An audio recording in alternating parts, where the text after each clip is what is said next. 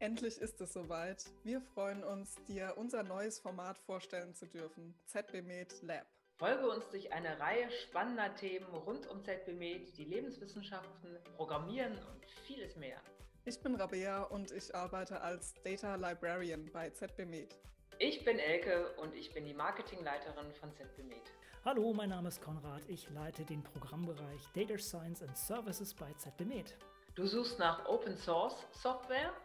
Oder nach Tipps und Tricks für deine wissenschaftliche Präsentation? Du möchtest deine Daten einfach visualisieren? Dann bist du hier genau richtig. Praktischer Content, kompakt zusammengefasst und einfach erklärt.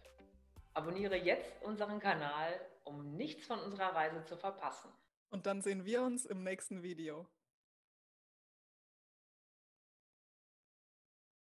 Achso, soll nur noch ich den letzten Satz sagen? ich dachte,